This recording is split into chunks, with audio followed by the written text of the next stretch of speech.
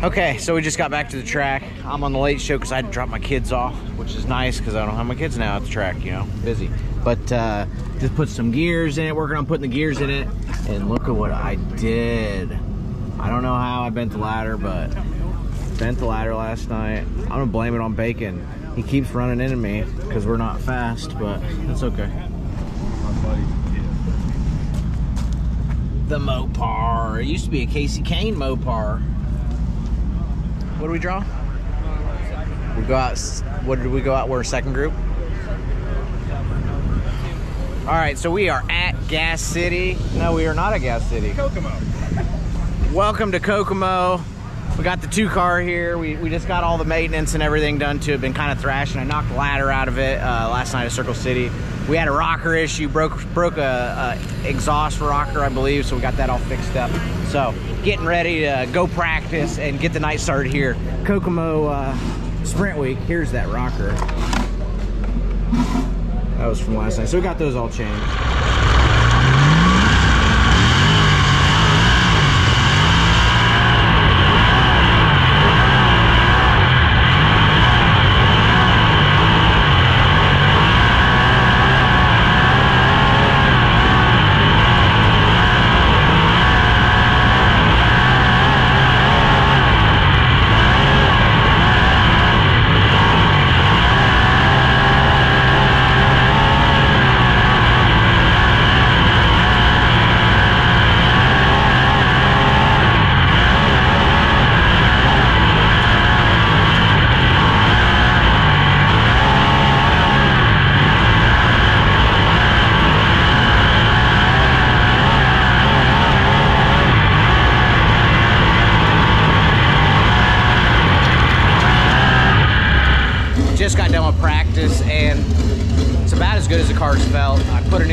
Shock on it. We went to a compression adjustable because I just felt like the car was landing too soon. Uh, it had like 85 pounds of compression, but it was rebound adjustable, so I couldn't really change that. Um, so now I got just a compression adjustable on it. Should help. I also found out that Jack had been Jack had been blocking the front of the car at three. Already had the front end so high. Um, I usually am on like three and three quarter. So we lowered the nose. I got him talked down to three and a half. So it's it's I think that's helping keeping the nose down. It's just not trying to fly away. And, and when the front tires are on the ground, I can actually drive it. You know.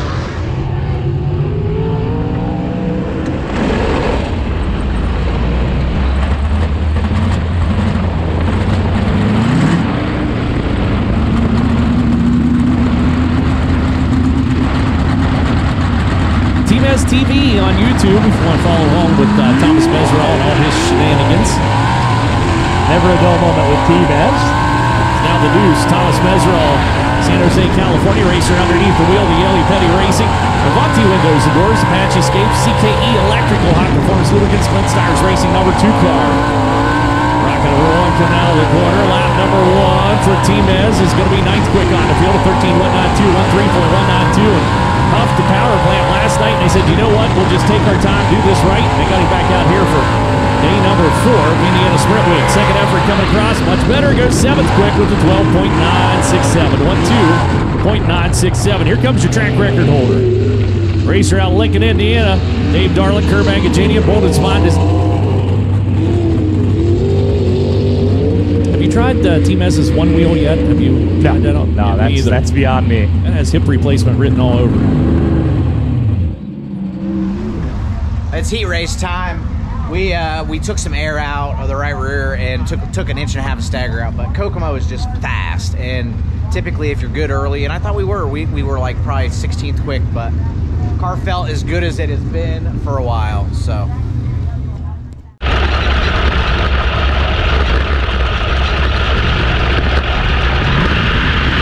Let's go, throttle up, cut loose.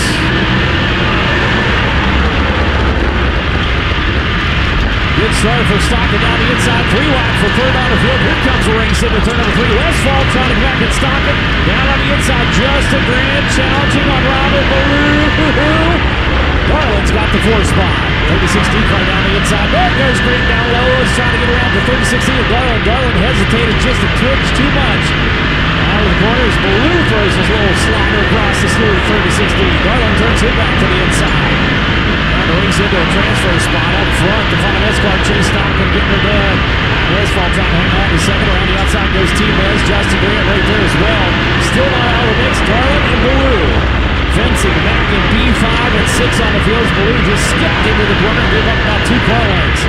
Now Grant comes down on the inside, occupies the attention of T-Mez. Meseraull shuffled back into third. Find some big for the 33M. That's the tweak on the knobs there in the cockpit of that 33M car. Starting to you know, pick up a little bit more velocity as he rolls down into turn number three. Racing a Chase Stockon untouchable. Had himself a huge advantage. He looked over his left-hand shoulder and see the entire field back behind. Here comes Ballou around the outside, trying to get a run on Garland down into the corner.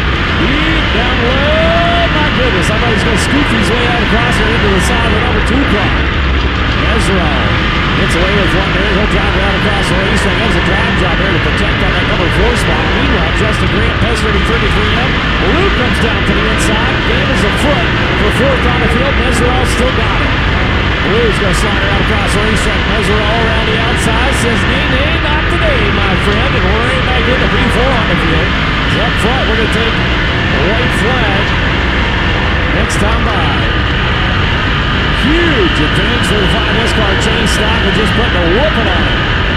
Heads down to turn number four. He's got one more voyage velocity. Justin Grant running second. Third, Westfall. Fourth still up for grabs. Meseraull's got it. Here comes Ballou on the attack. Down the inside. Slide job out across the racetrack. Meseraull's got to get that spot back if he wants to go to the big dance. Out of turn number four. Down on the inside. Meseraull's going to try it. Oh, they almost come together. Woo! Ballou squeaks through and hangs P4 for the number 12 is over goes your race leader. Unbelievable. Checkered flag had already flown. And Chase Stockon is shining side down at turn number four. Ah, we just missed the show out of the B. We were like this close to making it literally. If the transponder was at the front of the car, I would have made it. If, but it was at the it's at the back, and I didn't. And it's frustrating, but it's it was kind of cool. Uh, this lady here is doing a book for Hazen, which is amazing. And I have a little part in there, and ironically enough, it's on two wheels on that picture. That's pretty. That's pretty sweet. Thank you so much for doing that for Paul. But it, Oh, thank you. it's really cool to be a part of stuff like this because like tonight I'm, I'm just struggling you know we, we haven't had the success that i want i mean period and and it's tough but you know um, i am living my best life. I am racing for a living and um, it's awesome to meet the fans and and see stuff that they bring to us you know what i mean